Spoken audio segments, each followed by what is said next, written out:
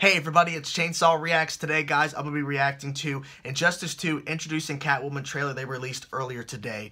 Now, before this, they already did reveal that Catwoman was going to be a playable character in this game with that Injustice 2 Welcome the Girls or Let's Welcome the Girls video they did, showcasing a bunch of female characters that are going to be playable in this game. They showed off, I think, Wonder Woman, Harley Quinn, Poison Ivy, Catwoman, and Cheetah. I think that was all of them or showed, maybe a few more. But it was a really cool video, but I guess this is their way to kind of give Catwoman her own uh, trailer itself and showing, showcasing her fighting style and uh, some of the moves she'll be able to use in the game. And uh, without further ado, I'm just wasting time rambling. Let's get into it now. Injustice 2, introducing Catwoman. Let's get into it and see what they show us. Let's go. I don't like it when I ramble, and I do it a lot. I hate that about myself. But to say, come on, let's get into it.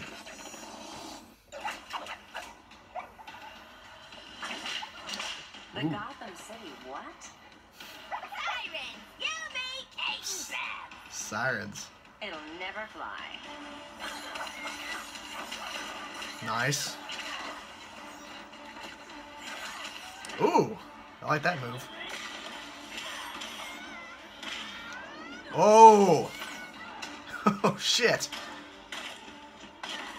Damn. Oh, fight Batman now. Oh, in the Batcave, too. Nice. Oh, Poison Ivy. I like the design of Poison Ivy, too. Oh, I think that's a different bat suit. what? that was cool. Oh. Say, who's that? Harley. I wonder where, is this the Batcave, too? I don't think so. Oh! Oh, shit! Oh! Oh! Wow! I like that these trailers show off. I don't know what it's called in the game. The final move there, that last thing we just saw. I like that the trailers reveal that. Even though I guess they could kind of hide it and not show us what their final move is, their big finisher or whatever. But um, the fact that they show it is pretty cool. I bet there's probably more than one, though. I'm just assuming there's probably more than one for each character, but that's just me assuming. I have no idea. I'm just rambling at this point. I'm just taking guesses. Um, I like this trailer a lot because Catwoman, you guys know, I love Batman. Batman's my favorite character. Not just of DC, but of just all of comic book heroes. Batman's my number one. Number one! So the fact that we get Catwoman, it's a win. It's a win for me. Um, I like her design. It's it's not too out there, like like at least her base design. I'm assuming that when we get to customization, there, there are probably going to be some throwbacks to earlier versions of the character, other uh, looks, uh, other outfits that are, you know, similar to the comics and all that kind of stuff that we thrown into the mix for customization. But I like just the base design of it.